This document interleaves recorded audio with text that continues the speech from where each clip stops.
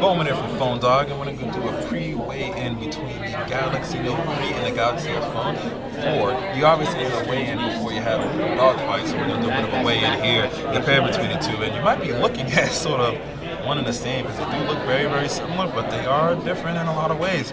Galaxy S4, 5-inch 1080p display. With the Galaxy Note 3, you have a 5.7-inch 1080p display, both AMOLED on both of those as well, too. Look here on the side. Uh, the design language is almost the same, really, and that's something Samsung does pretty, pretty commonly. You know, button placements pretty much in the same um, locations. Camera's pretty much in the same location. One difference is you have the leather back here on the Galaxy Note right here.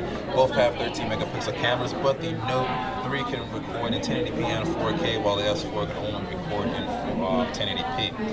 The uh, for processors, both have um, interesting processors. As well, this in the US has a Snapdragon 600 processor, and outside the US it has a octa-core processor.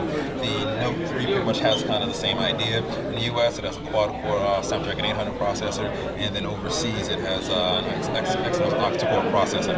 Two gigabytes of RAM in the S4, three gigabytes of RAM in the uh, in the uh, Galaxy Note 3, and both are running the at the time they were the latest versions of Android.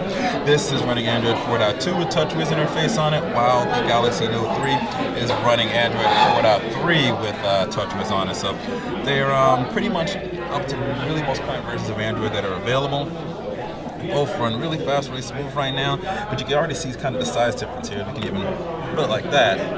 you can see how much bigger the Note 3 is compared to the Galaxy S4, but you can see the thinness is really, um, thickness is pretty much almost exactly the same, so it's pretty much a good accomplishment there from Samsung.